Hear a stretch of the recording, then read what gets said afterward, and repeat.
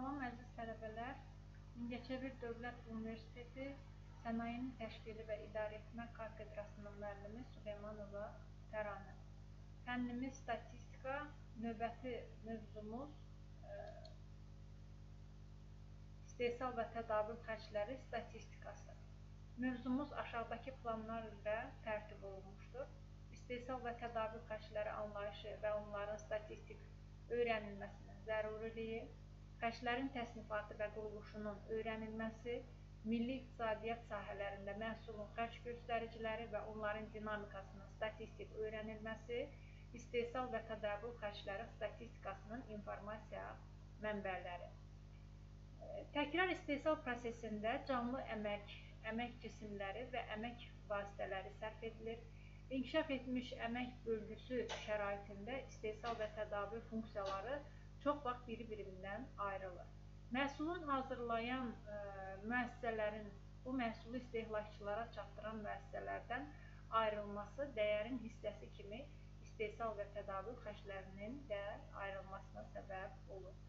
Müəssisə və birliklərin istehsal xərcləri məhsul istehsalına, iş və xidmətlər edilməsinə, habelə satışa e, çəkdikləri xərclərin pula ifadəsindən ibarət olan maya dəyəri formasını alır. Deməli, maya dəyəri müəyyən məhsulun istehsalına və xidmət göstərilməsinə çəkilən müxtəlif xərclərin məcmunundan ibarətdir. Tədavül xərclərinə isə məhsulun istehlakçılara çatdırılması ilə əlaqədar olan maddi, əmək və pul məsrəflərinin cəmi daxil edilir. Buna məhsulun bazara daşınması, saxlanması, e, sortlara ayrılması, qaba yığılması və satış məntəqələrinin e, mağazaların saxlanması xərcləri daxil edilir.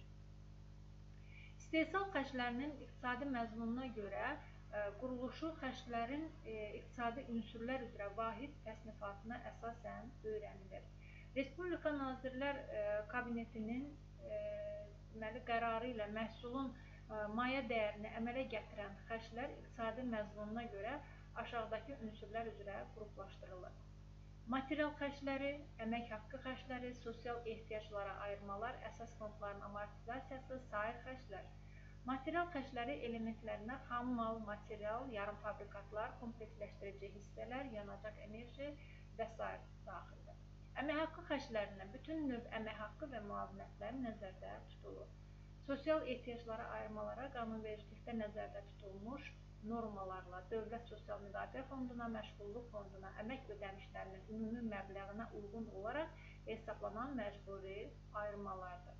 Əsas fondların köhnəlməsi, yəni amortizasiyası xərcləri əsas istehsal fondlarının balans dəyərinə görə qanunvericilikdə müəyyən edilmiş normalara uyğun hesablanmış e, köhnəlmə e, məbləğləri əks etdirilir. Sair xərclərə istehsalın idarə olunması ilə əlaqədar xərclər qanunvericilikdə müəyyən edilmiş normalara uyğun elzamiyyət, reklam və nümayəndəlik xərcləri, e, informasiya və məsləhət xarakterli xidmətlər üçün ödənişlər və s. E, daxildir. İqtisadi münasibətlərin nəticələrini qiymətləndirmək üçün istehsal xərclərinin hesablanmasına üstünlük verilir. İstehsal e, xərcləri ayrı-ayrı məhsulların istehsalına bilavasitə sərf edilən özündə xərcləri əks etdirir. Xərclərin quruluşu dedikdə yekuna görə hər bir xərc maddəsinin tutduğu xüsusi çəki başa düşülür. Belə qruplaşdırma maya dəyərinin quruluşunu təhlil etməyə e, və hansı xərc maddəsi hesabına maya dəyərinin aşağı salınması imkanları olduğunu söyləməyə imkan verir. Məsələn, sənaye məhsulu maya dəyərinin quruluşu aşağıdakı xərc maddələri üzrə öyrənilir. Xammal və materiallar, istifadə üçün qaytarılan tullantılar çıxılır. Satın alma məmulatları və yavrum fabrikatlar, xidmətlər, yanacaq və e, enerji, e, istehsal e, fəhlələrinin əməyinin ödənilməsi xərcləri, yeni məhsul növlərinin istehsalına hazırlıqla əlaqədar xərclər, istehsalatdan kənar xərclər, sex xərcləri, ümumzabot xərcləri, sair istehsal xərcləri nəzərdə tutulur. Biz e, deməli iqtisadiyyatın sahələri üzrə xərclərin e, xüsusi çəkisinin e, fərqli olduğunu diqqətinizə çatdıraq. Belə ki, energetika sənayesində yanacaq xərcləri, yüngül sənaye müəssisələrində xam mal və material, hasilat sənayesində amortizasiya ayırmaları üstünlük təşkil edir. Məhsul vahidinə sərf edilən maddi məsrəflərin məbləği məsrəf maddələri üzrə sərf olunmuş materialın, xam malın, yanacağın və s. miqdarına və onların vahidinin qiymətinə əsasən müəyyən edilir.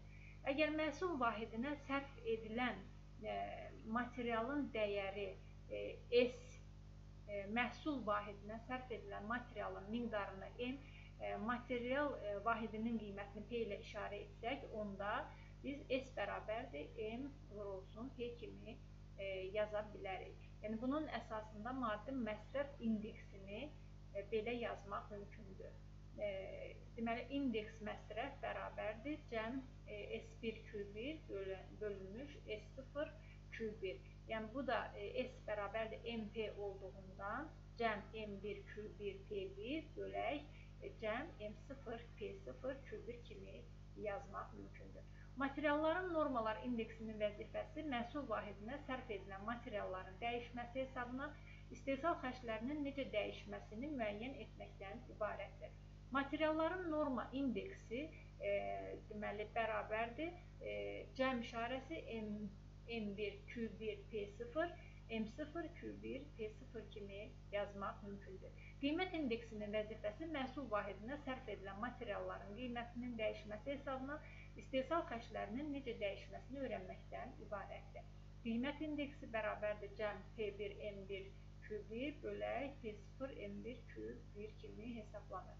Materialın norma indeksi e, indeksini qiymət indeksinə vursaq, məsrəf indeksini alarıq. Deməli, bu zaman e, məsrəf indeksi bərabərdir norma indeksi vurulsun qiymət indeksi.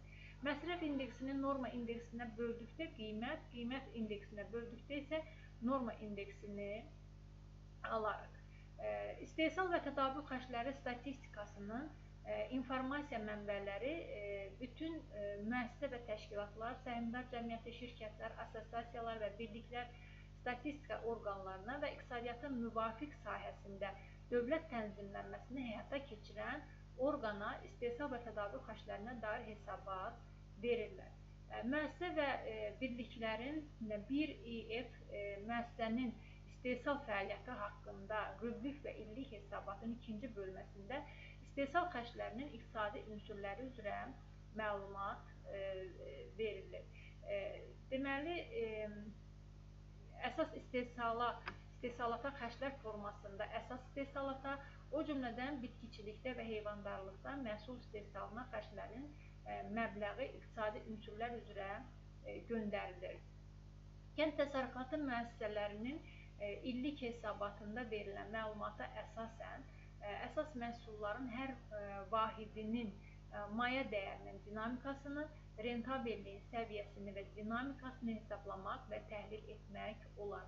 E, kənd təsərrüfatında e, kənd əhalisinin e, təsərrüfatlarında istehsal olunan bitkiçilik və heyvandarlıq məhsullarının istehsal xərclərinə dair məlumatlar ev təsərrüfatları büdcələrinin seçmə tədqiqatının materiallarında və habelə ildə bir dəfə təqdim olunan 6 saylı e, kəndli təsərrüfatlarının fəaliyyətinə dair hesabat formasında verilir.